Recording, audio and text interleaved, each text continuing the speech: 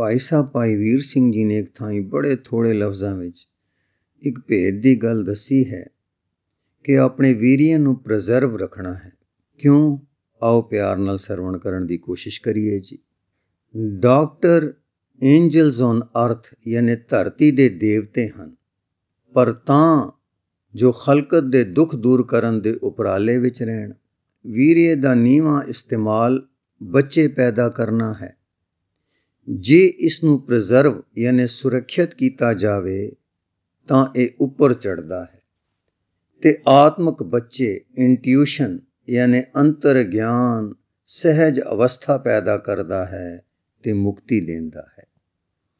ਹਾਂਜੀ, ਫਿਰ ਦੁਹਰਾ ਦਈਏ ਕਿ ਵੀਰੀਏ ਦਾ ਨੀਵਾ ਇਸਤੇਮਾਲ ਬੱਚੇ ਪੈਦਾ ਕਰਨਾ ਹੈ।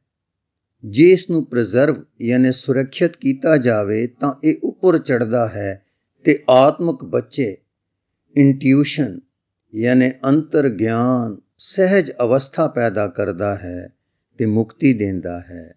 ਵਾਹਿਗੁਰੂ ਜੀ ਕਾ ਖਾਲਸਾ, ਵਾਹਿਗੁਰੂ ਜੀ ਕੀ ਫਤਿਹ।